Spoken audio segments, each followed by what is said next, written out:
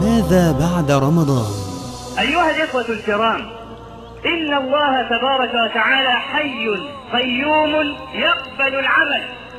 فما الذي غرك به؟ خلق الله عز وجل الخلق ليعبدوه كما قال تبارك وتعالى وما خلقت الجن والإنس إلا ليعبدون المهم أن تحقق العبودية لله. ماذا بعد رمضان؟ فالسؤال لماذا يفتر الناس بعد رمضان؟ لماذا يقبلون على الله في رمضان؟ ثم يفترون بعد ذلك؟ إذا كان المسألة جد في العبادة فلقد رأيناهم يجدون.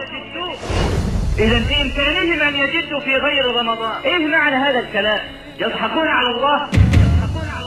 ليه هذا التقرير؟ ليلة 27 مساجد ملآنة ليلة 28 فرغت المساجد. انتبه. إذا فالله عز وجل يعاملنا بالفضل. فما الذي غرك به وجعلك تدبر عنه بعد رمضان؟ لا يحصي عليك بعد رمضان أو يغفل عنك فلا يراك. لماذا نعامل الله عز وجل هذه المعاملة؟ ولماذا لا نقبل عليه دائما في كل يوم وفي كل شهر؟ هذا عقوق أيها الكرام.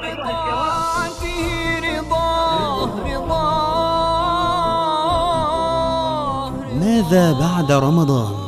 عقوق الكريم له عقوق الكريم له. ويوشك الله تبارك وتعالى أن يعاقب الذي حلم عليه كثيرا فلم يرجع. انتبه. ما هو الحل؟